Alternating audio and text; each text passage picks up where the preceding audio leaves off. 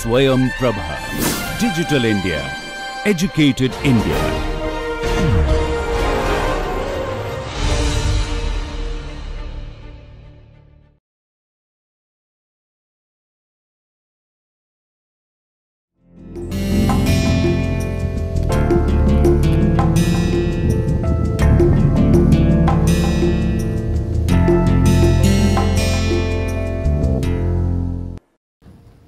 Are going to look at popular forms of music in this lecture. So, obviously the question arises as to how some musical forms become popular and what are the factors that contribute to this popularity.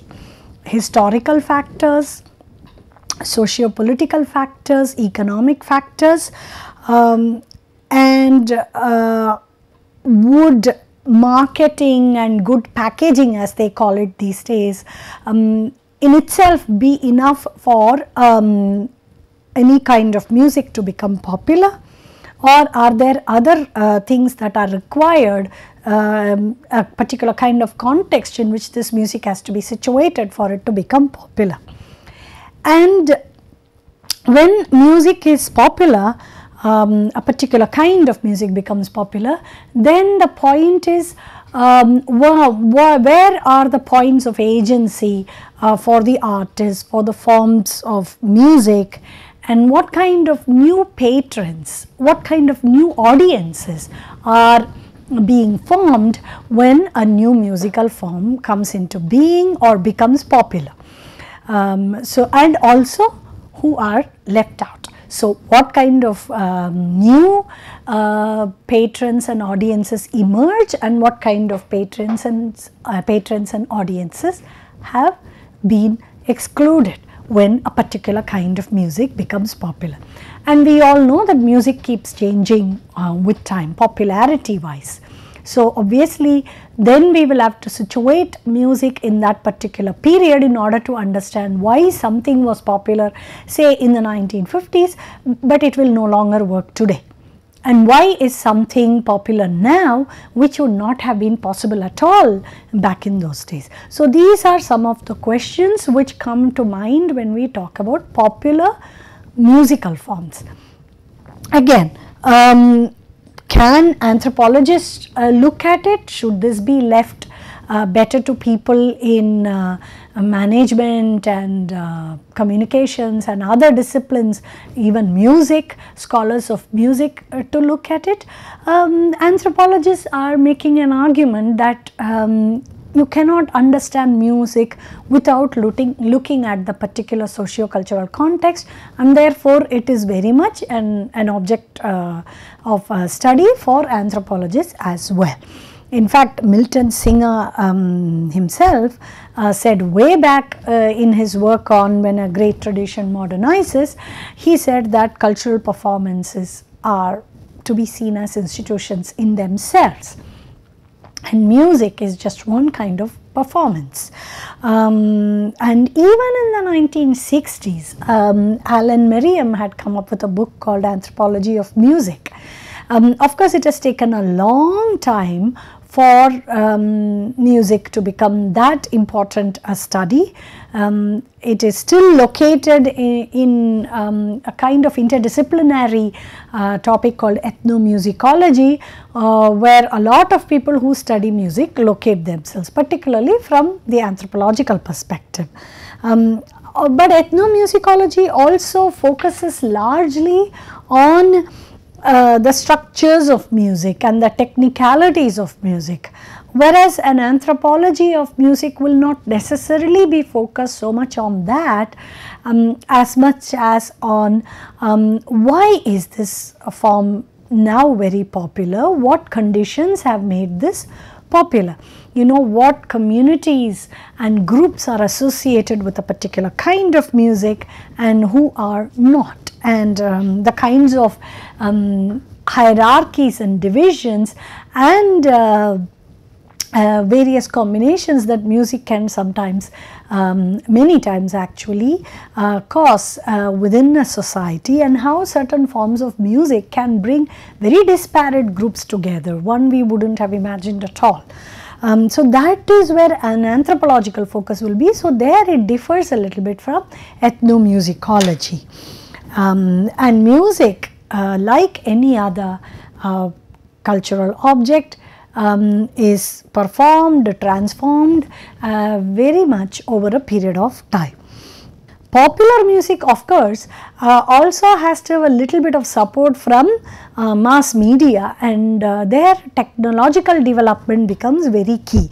As uh, we will uh, notice when we look at uh, more contemporary forms of music but even within the last 100 years if we have to look at some popular forms of music we will see that um, a technological development whether it is gramophone whether it is radio um, or now uh, you know CDs and uh, people are downloading music um, from online.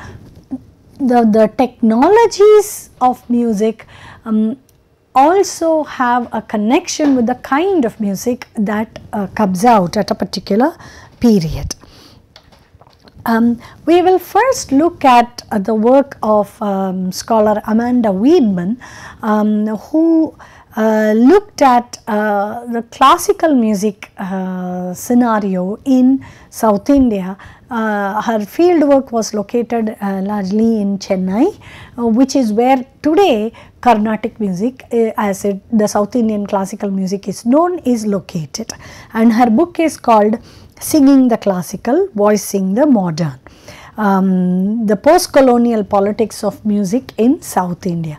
So, that was her argument. So, we have to pay attention to the words that are there in the title, post-colonial which means that she is looking at the um, kind of music evolution post independence, but also tracing it uh, to the previous uh, decades. Uh, but she is looking at also the interface uh, between defining what is classical and what is modern. So, in some sense we have to understand classical music within its location in the uh, conditions of modernity that have emerged in South India. Weidman also um, starts with explaining uh, how she came to learn uh, violin from a particular um, teacher in Chennai and how that allowed her to be sort of like a participant observant um, into the classical musical scene in Chennai and uh, th thus her project began. So, what is classical music? Um, now, uh, Weidman argues that uh, classical itself is kind of an invention being given to this particular kind of music um, which was sung in the southern parts of the country. Uh, if one were to ask for origins, it will probably run uh, centuries. Um, but uh, broadly speaking, uh, she says that the evolution of uh, classical music in South India is always in terms of uh, differentiating itself from what is understood to be the western classical music. So, what is western classical music? Largely focused on instruments whereas uh, the Indian classical both Hindustani as well as uh, Carnatic music is largely about singing. So, music essentially is about singing the instruments are there and instrumental uh, instrumentalists are very important for a performance, but the predominant uh, object there is the singer. The predominant personality is the singer and she says that this attention to voice is the most important factor in understanding South Indian uh, classical music or largely Indian classical music. And the, the other factors also which come into play vis-a-vis the difference between western classical and south Indian classical are um, the sort of focus on some kind of spiritual experience that music is supposed to give um, which is not the same in western classical music.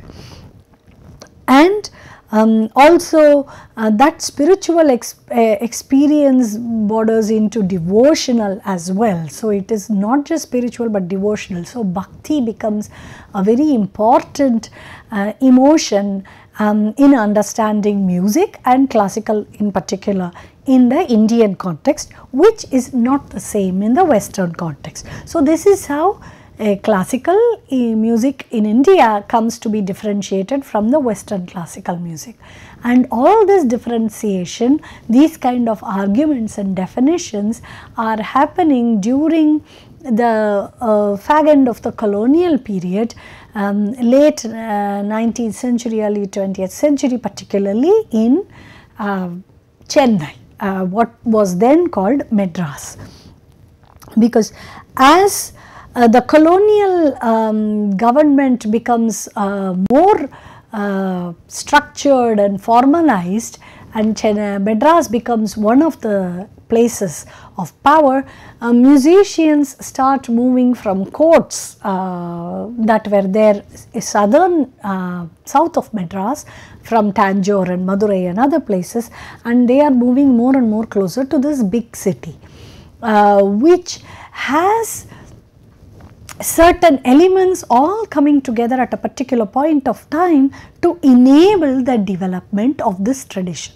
So, what are the factors? So, in the book uh, she discusses these factors as um, the nationalist movements, um, technologies, you know gramophone and then later on um, other technologies, uh, but also the colonial administration attracting large numbers of people from the upper caste um, who then are able to um, fund and build these organizations which play a very key role in um, music.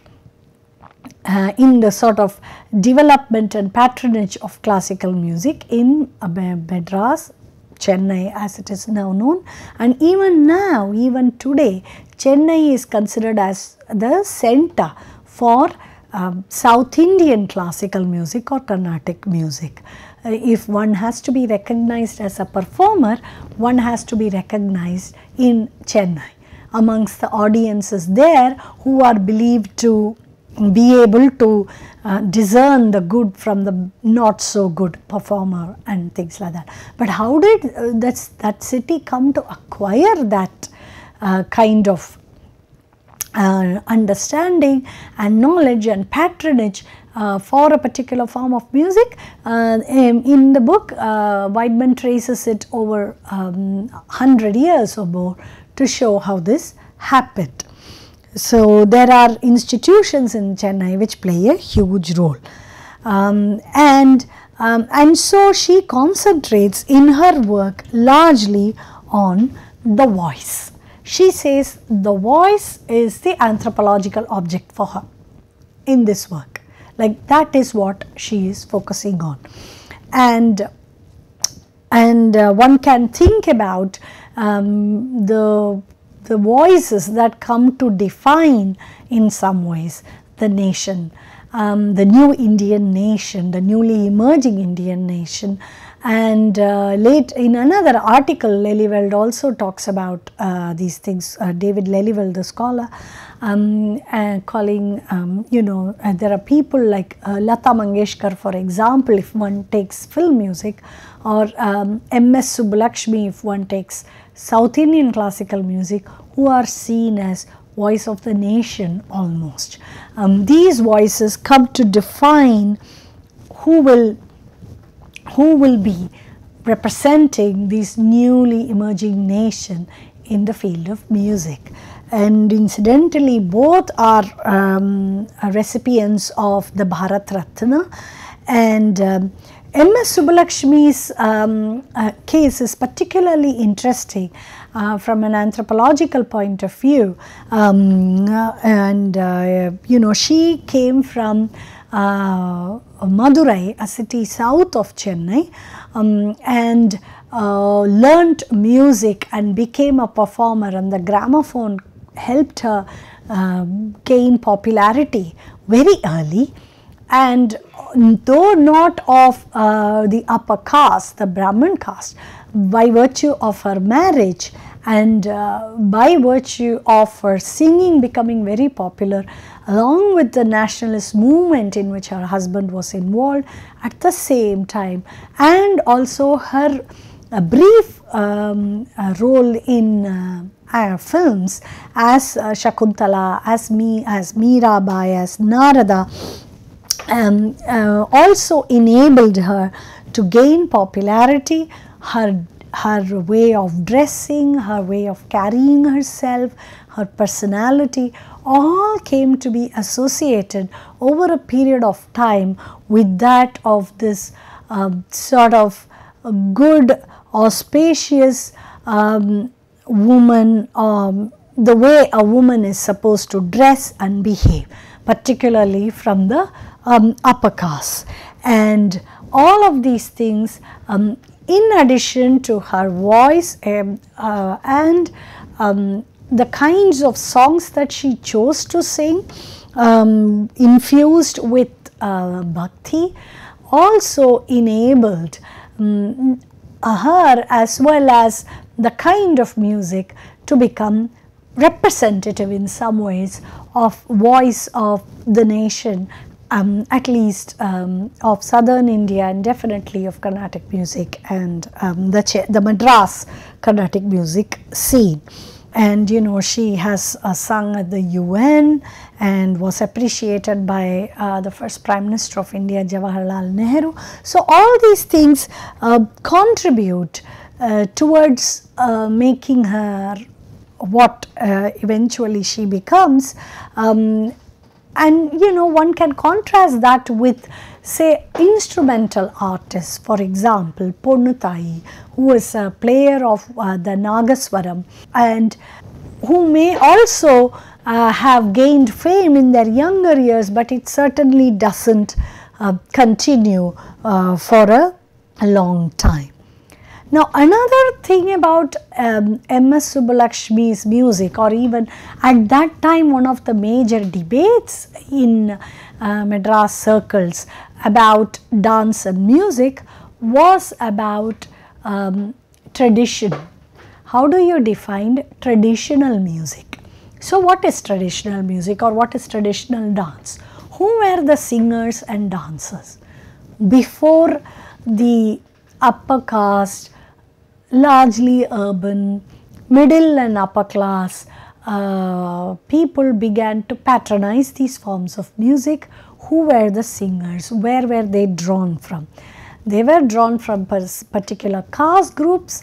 Um, people belonging to upper caste may have uh, been singing at home, though majority of the compositions in uh, Telugu, Sanskrit and some in Tamil were largely composed by people from caste. A lot of these uh, musical performances also drew uh, from songs composed um, during the Bhakti movements centuries ago. So, there is a lot of mix here. So, then how does one define what is traditional and what is not? And uh, here one example from the field of uh, classical dance as it now is called uh, can be um, very illustrative. Um, and this was a debate that went between that went on um, between um, people uh, who believed in the kind of um, dance form that the Kalakshetra school of dance, dance produced through um, its founder um, Rukmini Devi Arundale and as opposed to the arguments made by artists like Bala Saraswati uh, who, who felt that uh, Bharatnatyam in its previous avatar as Sadir uh, dance uh, placed more emphasis on Shringara. So, one of the things uh, that gets uh, into this debate about tradition uh, versus um, non-traditional, um, not necessarily modern at that time, but not traditional is what is the kind of emotion that has to come forth.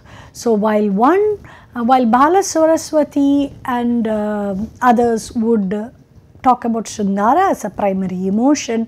Um, Rukmani Devi Arundale and the kind of dance form that um, later on came to be um, can look more into bhakti as the major form of emotion. So, all these kind of discussions about whether it is bhakti or whether it is Shringara also in some ways are all about what is traditional and what is not and what kind of tradition should we keep. Firstly, we have to define what is traditional and then decide that that is the form that we have to keep.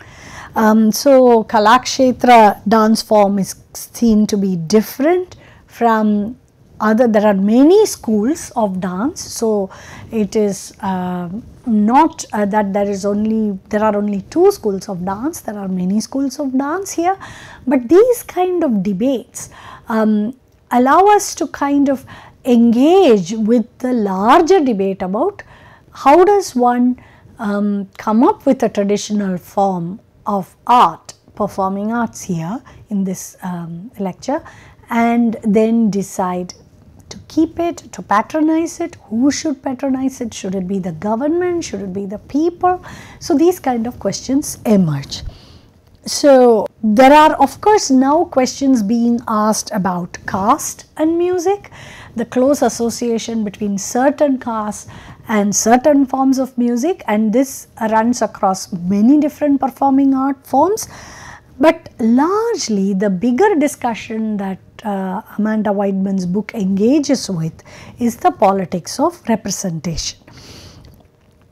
Representations of uh, the voice, the voice that should be the voice of the nation, what kind of voice that should be, what kind of emotion should come through that voice and uh, and a kind of voice which can be um, a sort of symbol for middle class uh, modernity, um, the sort of auspicious, pure, however one defines purity, um, all these kind of um, attributes are given to certain kinds of voices um, which then will not obviously allow for other voices to emerge. And um, like I said the technology uh, also plays a huge role. Um, while M.S. Subbulakshmi was a very popular um, artist and Carnatic music is still popular even though in a uh, one would one can argue that within a smaller circle of people the bigger form of popular music in India is obviously film music and film music um, is um, as uh, referred to the common denominator. Everyone across India, most people would be uh, listening to some kind of film music or another. And uh, um, in some ways film music also allows for the kind of regional identities to come to the fore. So, there are regional identities and then there is a national identity and just like cinema which can transcend boundaries, film music can also do the same and has done uh, the same. So, what uh, then the question is what can changes about music tell us about the larger society. Even if we take film music as an example, there has been and even if we take just Hindi film music as an example as Gregory Booth has worked on um, largely, uh, there is tremendous variation in the kind of music that was popular in the 1950s to today. How can we explain that? Uh, can we say that it is about technology? Certainly we can. Can we also say um, about the way in which music is now recorded and played, um, whether music is recorded within a studio, whether music artists are performing open air, uh, the kind of training that artists, uh, musicians are now supposed to have uh, as opposed to then. Uh, in the past, where are we drawing these um, big singers from? Um, all these questions um, come into the discussion about how does this change happen? What factors enable this change? Now, one of the groups that Gregory Booth studied, um, Amanda Weidman looked at classical music, Gregory Booth looked at um, instrumental music made by these group of um, music musicians or bands uh, which are very common in northern India particularly during the wedding season, but they can also be seen in southern India as well. Um, these are the group of people who dress in um, army regimental kind of clothes and uh, have a lot of western um, instruments and play Indian film music mostly. So, uh, and in his book uh, Brass Baja, Gregory Booth uh, traces this community of uh, band players and how they came to be in the bands and uh, you know what are their lives like. So, it is a ethnographic study um, and these brass band musicians are seen as ritual musicians. Uh, they are usually, invoked um, only during uh, rituals like marriages, but they occupy a very marginal position in um, the his in the communities where they play. Uh, they are called uh, the non-katai fellows, uh, the, the people who make biscuits which are called non-katai. Um, and this kind of processional music does not have the same value that the classical music of Weidman study has in the popular perception. So, while this music is very essential and no marriage would be complete without this music, it does not necessarily occupy a very high status. Partly also because a number of musicians who are found in these bands come from the lower castes.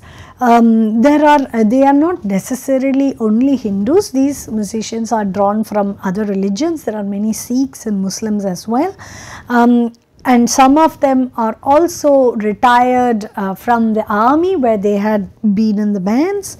Um, so, some of them are hereditary you know so it goes from father to son but there are also newcomers people who join um, this uh, music musical bands as well. So, obviously the major uh, income uh, generating uh, performance for them is the Barat music. Um, the kind of music that is played when a bridegroom um, goes to a wedding and is received by the bride's family. That is called a Barat and therefore uh, these musicians um, play what is called as Barat music.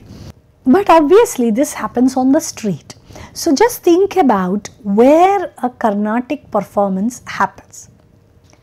It happens, a Carnatic music performance usually happens in a big auditorium, big or small auditorium.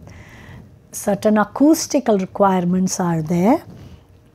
The artist is seated on the stage with all the accompanying instrumentalists and the audience is seated on chairs in the front. There is a space between the performing artist and the audience and the performing artist will be seated not standing and will start uh, the program uh, with a kind of invocation, um, a religious invocation, um, small religious song and then more songs follow.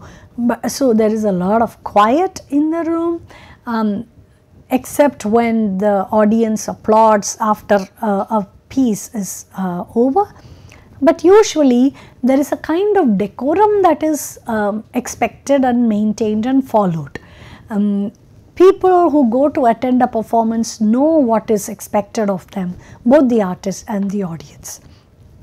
In these brass band performers, one of the issues apart from the fact that they are usually drawn from the lower um, caste is also the space where they perform. So, they do not perform inside any assembly hall or an auditorium, the, they perform on the streets. So, it is that space which also gives them this kind of a marginal position um, because you know uh, there are no listeners for them. I mean, nobody is standing around these uh, brass bands uh, waiting to hear what they will perform. Uh, people are just dancing, the music is just in the background, and all the songs that they have is all filmy gaana, um, as Booth says. It's all songs drawn from the movies, which um, very rarely would classical musicians resort. Their songs will be largely, primarily composed of songs from um, the great uh, composers of the past like Tyagaraja or um, poets like uh, Bharati, whereas these uh, brass uh, band musicians are playing songs from the movies. So, their marginality comes from the communities where they are drawn from, the space where they play, the songs that they play, and um, and the fact that there are no listeners. This is a performing group which has in some sense not a lot of audience. They are a ritual requirement almost. And uh, you know everybody knows that they will play songs like um, baharo fool barsao aaj mere yaar ki shadi hai. Everybody knows these songs and that is what they play. So ev almost every um, barat will have these songs so they are also repetitive. One they are drawn from the movies and two they are repetitive. So all of these things contribute to their position in the uh, performers group if you like um, in India. So, what are the technologies that have then uh, made some popular while others have not? One very important uh, form, a medium which has done this is radio. So, radio was a huge uh, uh, factor in popularizing classical music as well as well as film music. But obviously uh, there are discussions, there were discussions about whether it should, it is a form of entertainment or is it uh, not suitable for the masses, um, should it be avoided. Um, so, what do, uh, how does one get the radio to the people? So, these kind of debates have happened um, you know, what should be the music of the nation, for example, Lelyveld uh, talks about in that article um, on music. Um, you know, should the radio play more classical music or should it be more focused on um, film music? Uh, which is called as light music uh, in India.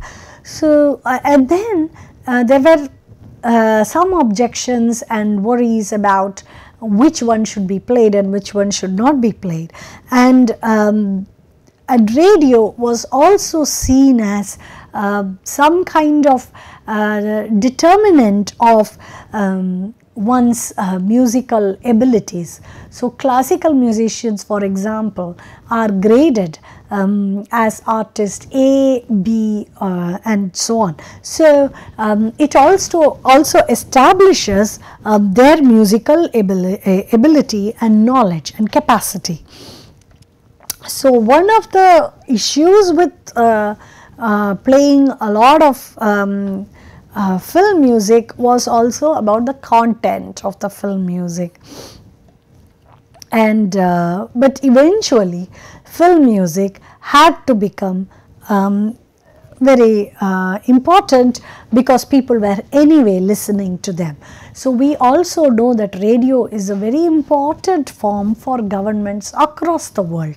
Everywhere um, radio is plays a very important role and so it does in India. Um, we also know that radio programs such as uh, Binaka Geetmala for example uh, played a huge role in popularizing Hindi film music.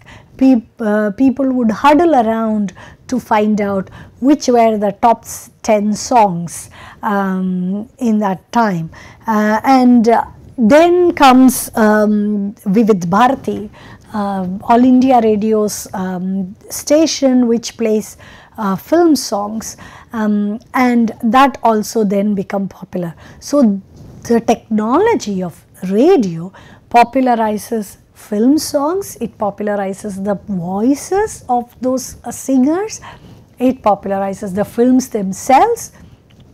Films become popular because the songs are popular um, and uh, therefore it it plays a huge role it has played a huge role in popularizing film music before the technologies that we have today arrived it was radio which played a huge role similarly with carnatic classical music as well for people who couldn't always go to the um, auditoriums and listen to these songs, uh, there were also radio stations which played classical music and that also has a clientele.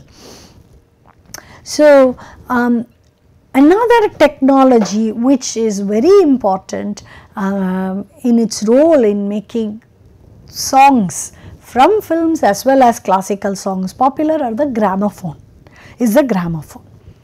So, um, what way in which gramophone recordings came to be was uh, partly through drama music.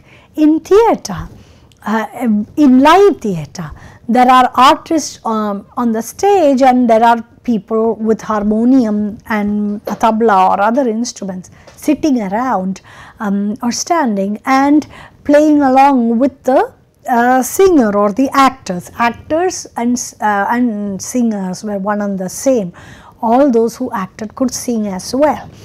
Playback music as we call it now comes much later. So then um, these uh, gramophone recordings become very very important uh, later on because then people can listen to the kind of music that they want. Um, you know and uh, they have in some sense a lot more agency, the listeners in choosing the kind of music that they want to hear. So, his master's voice HMV comes uh, to India. And uh, apart from MS Subbulakshmi another um, voice which in those days became hugely popular because of gramophone recordings and drama music and then uh, goes into films is that of um, KB Sundarambal whose voice also uh, is um, easily made available through gramophone records. And establishes her popularity. So, we know music is popular, um, but why would music resonate with anyone except for those people who are from that particular region and for how long can it be sustained?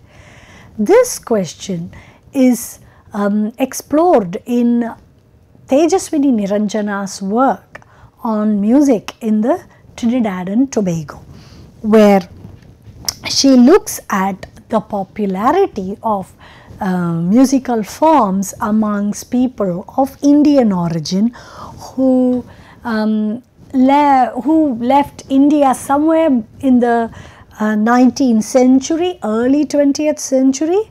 These Indians um, went as indentured labor to various countries um, in the West Indies um, as well as to Mauritius and other countries in Africa as well, Reunion, Mauritius, um, South Africa.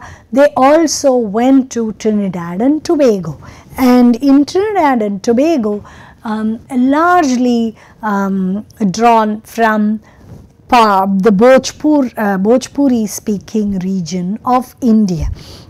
So, in fact, Tejaswini Niranjana's book is called Mobilizing India uh, because a part, uh, partly through their um, through the popularity of a particular kind of music, um, the, the people of Indian origin settled there over nearly 200 years still invoke um, the, the, the nation that their ancestors left behind long time ago. So, there are two kinds of uh, musical forms that Tejaswini Niranjana looks at very closely. One is the calypso, another one is the chutney soca. these are very popular in Trinidad and Tobago and she looks at um, you know how these things have come to be and how do people who have no memory of India or no experience of this land from where their ancestors came from uh, still recall that um, nation through their songs. Um, so, um, you, might remember that um, mm, some years ago the, the Prime Minister then of Trinidad and Tobago, Kamla Persad-Bissessar, uh, came to India and she was given the Pravasi Bharatiya Divas Samman and uh, she also um, uh, visited uh, her uh, the, the, the, place from where many of these um, ancestors of uh, the current uh, residents in Trinidad and Tobago came from in those parts of Bihar and UP. Um, but particularly with regard to um, her work, there is a form of uh, musical uh, practice called Tan singing, which is also very popular in Guyana and Trinidad. Um, but um, music in these regions is seen as a link to their tradition. So, it is music that is keeping them connected to this land they left um, hundreds of hundred or more years ago. So, obviously in the beginning these songs were all in the oral form, eventually they come to be written down. Um, so, there are groups of um, um, these uh, Trinidadians and people from Trinidad and Tobago of Indian origin living in uh, cities in the US who meet together on weekends uh, to practice tan singing uh, and other musical forms. So, technologies like the VCR helps them even more. Um, so, you know it helps them remember, it helps them recollect more frequently, replay and then see how they can sing um, better, but also through VCR they can also watch more Indian movies and learn newer songs. So, while um, the people who migrated to Trinidad and Tobago in the 19th century um, kept uh, these songs alive for a long time by passing them down, um, the popularity of um, Hindi film music from uh, the 1950s onwards has also been able to reach uh, the show, the countries like Trinidad and Tobago um, through technologies. So, now they also can recollect the newer um, songs uh, that are popular in India itself. Now, what are the songs actually about? Uh, the calypso and uh, Chutney Soca songs are all about. Uh, what Tejaswini Niranjana shows in her work uh, very ethnographic is that um, these songs expose the racial tension that is there between people of Indian origin and people of African origin. So, there is a lot of discussion about the Indian femininity and African masculinity and there is also about um, emergence, there is also evidence um, shown in these songs of the emergence of the middle class in these places. Um, in fact, one of the song uh, songs that is there in the book complains how Indian women are no longer um, keeping names like Sumintra, Ram Nalavia, Bulbasia. They used to have such names in the past and the song, the singer complains that now they all have um, names like Emily and Jean which do not tell anyone anything about their Indian origin. But the songs also talk about people of the current uh, residents of Trinidad and Tobago who may be of Indian origin, um, but uh, they are as one person says in a song, I am neither here, I am neither one nor the other. You know, they are some kind of Creoles in some sense um, you know Jahaji Bhai is the song which is very popular where this person calls for unity and says let us not allow religion to divide us we are all one we are all Trinidadians and we should be together we shouldn't uh, be thinking about who is Indian and who is of African origin. Another um, song uh, uh, form which is popular there is Chutney Soca. Now Chutney Soca is a mixture of bhajan, birha, chautal, all those songs which are found in the regions here in Bihar. Uh, so, there is a bit of Hindustani classical there. Um, so, the, the the language is um, mostly Bhojpuri, um, instruments like dholak are used and uh, there are songs sung by women during weddings in Trinidad which have been sung for a long time. Basically as Peter Manuel another scholar who has written a lot about music in India and Trinidad says it's basically Bhojpuri folk music that is being sung in Trinidad hundreds of years later. In addition, the people in Trinidad also listen to songs from films as I mentioned before. So, there are huge uh, fan clubs um, for uh, singers like uh, Muhammad Rafi. Um, you know, uh, Tejaswini Niranjana mentions in her book that one of the most popular songs among Trinidadians um, of Indian origin is the song Brindavan Ka Kishan Kanhaiya um, from a film in the 1950s. But obviously things have begun to change now. So, there are children who do not know much of Hindi or Bhojpuri, but they just sing the songs. Um, so, uh, there is um, uh, there is obviously tension there between um, what the older generation would listen to and like and what the younger generation who are trying to define themselves more as Trinidadians and not necessarily as um, people of Indian origin. Um, so, you know, there is one interview where she quotes about how um, the old elder generation uh, is telling her that the children can't speak Indian as they call um, Hindi. Um, so, uh, these um, songs in some ways tell us the tension that is there in Trinidad and Tobago among uh, people of Indian origin who are trying to um, find themselves uh, in uh, a Trinidadian milieu, but at the same time, uh, some of them trying to hold on to their Bhojpuri origins, um, while the others um, are saying, well, that may be what is important for my grandmother, but not necessarily so for me. I define myself um, as somebody who likes calypso and chutney soca and not necessarily um, you know tan singing or bhajans. Um, so all of these works that I have discussed here by Amanda Weidman, um, by Gregory Booth, uh, by uh, Tejaswini Niranjana and also by scholars like David Lelyveld, Stephen Hughes, all of them are basically talking about some common themes. One is what is tradition and what is modernity and uh, will modernity change tradition? Uh, is tradition defined only within um, uh, its opposition to modernity? Can tradition exist without discussing modernity at all? So, that is one major theme.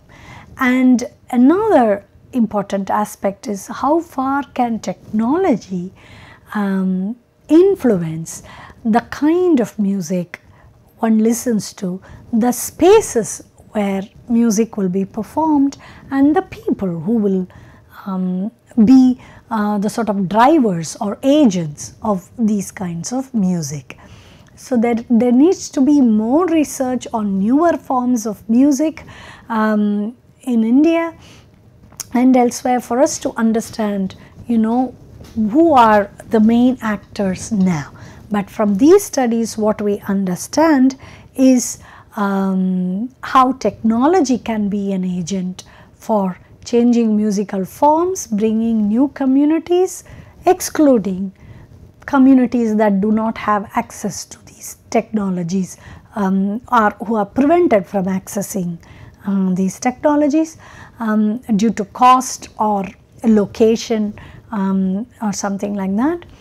Uh, the study by Tejaswini Niranjana also shows, as do studies um, on um, the importance of cinema for the Indian diaspora, Niranjana's work also shows the importance of music for the Indian diaspora and how people who left um, India 100, 150 years ago, um, communities that left have still kept these musical forms alive, but obviously the forms have changed significantly. Um, and uh, Gregory Booth's work also shows how um, a kind of musical performance that is considered very essential uh, and auspicious or signaling something very auspicious like a wedding uh, and celebratory like a wedding might actually um, still leave the performers in a marginalized position. So, popularity of music and popularity of musicians um, are very different things and only ethnographic research can show us these differences.